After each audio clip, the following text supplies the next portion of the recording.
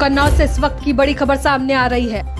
आज एक और नया कोरोना मरीज़ मिलने से ज़िले में मचा हड़कम गुपचुप तरीके से अपने दोस्तों के साथ कानपुर से कन्नौज आया था।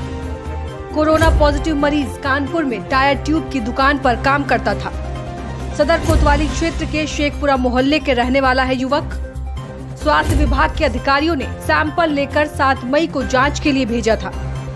दो लोगों की रिपोर्ट आने के बाद एक युवक निकला कोरोना पॉजिटिव।